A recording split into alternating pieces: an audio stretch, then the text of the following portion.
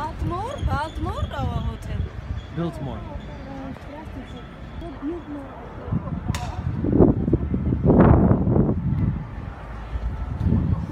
Yeah, how much?